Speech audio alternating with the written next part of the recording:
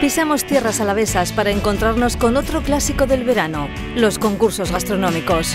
El concurso de rancho de Yécora tiene a este pueblo de Rioja Alavesa volcado y revolucionado.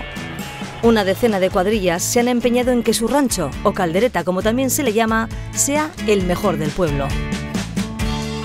Nos hemos levantado a las 8 de la mañana.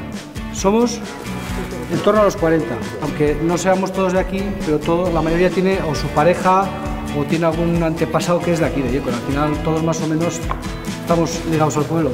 Antes se echaba de cualquier, no de cualquier manera, pero vamos, valía todo. La cuadrilla de los chapus de chapuceros. Vaya fama, vaya fama nosotros. Ahora ya somos un poco más... Salimos en la tele, vaya fama. ¡Guardión! ¡Ardoa! ¡Va, venga! Con el vino camporeco que bien me mantengo. Este es el primer paso de, de- del rancho, es nuestra forma de hacerlo. Confitamos los ajos y luego los quitamos. Quitamos los ajos y le echamos la carne. Espera cordero que, que lo han troceado con hueso y con todo. Sí que es cierto que es una carne muy jugosa y a veces hemos probado hacer ranchos con ternera y están ricos, pero se queda muy seca la carne. Esto es muy jugoso.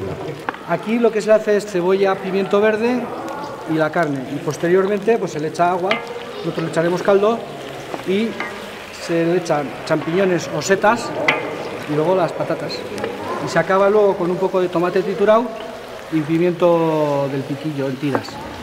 Lo que más importa al final no solo es la caleta, sino el que estemos todos juntos, el que hagas el mequetaco, que tomes un vino, comamos juntos. Luego nos juntamos todo el pueblo ahí y la verdad es que es muy bonito. Estoy deshidratando, ¿eh? Qué ricasco. Ya me estaba deshidratando. Lo más, lo más curioso, lo que más llama la atención a todo el mundo es que a, un guisado de carne le echemos cangrejos. Le vamos a echar luego cangrejos.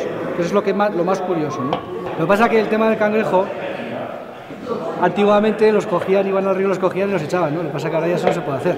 Ahora hay que ir a comprarlos al súper y, ya no son lo mismo. Pero bueno, apaga la cámara.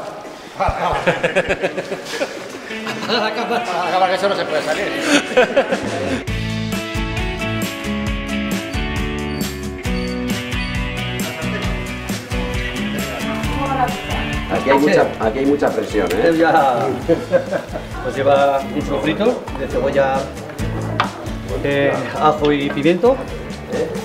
Después la carne toda sofreída, todo junto, y después un poquito de tomate, un poco de pimiento choricero, la patata, y ahora le echaremos ya el caldo. Y Arby no tiene tampoco más misterio. Y chorizo, chorizo también. Ahora es- esto es pimiento, chorizo, ¿vale? Tú echa bueno, sale bueno. No hay más truco en la cocina. Calderete, rancho, eso es por lo típico, incluso antes, lo que pasa que ahora ya somos un poco más finos, se le echaban caracoles. El rancho típico lleva caracoles, por lo menos en, en la zona de por. Yo creo que todo el mundo hace lo mismo, hazte un perolo para que coma la cuadrilla, la familia, te llevas un plato al jurado que ganas, Buah, puta madre, y luego meriendas, pero Tú vete abajo, abajo, bien. abajo. Eh.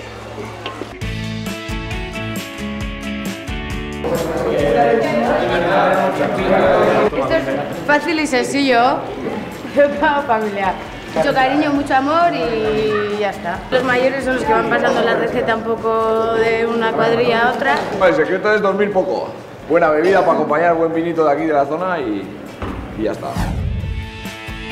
¿Habéis ganado alguna vez en el concurso? No, no, no, la verdad que no. Pero estamos en ello, ¿eh? Enrique, La verdad que es la tercera vez que nos presentamos hoy. ¿eh? La otra vez estábamos practicando. Yo creo que este año es nuestro año.